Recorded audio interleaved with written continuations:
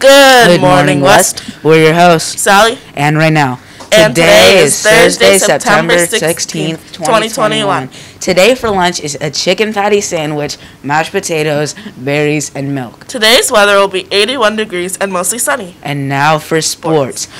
Good luck to golf, girls golf and 8th grade football. That's all, That's for, all for sports. West Ambassador training will start on Wednesday, uh, September 29th. Make sure you remember the date. Happy birthday to our special sixth graders, Remy H. and Abigail T.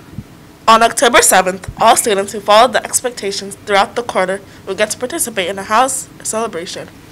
Make sure you respect all of the staff, all of the rules of the staff, and remember to respect the property too.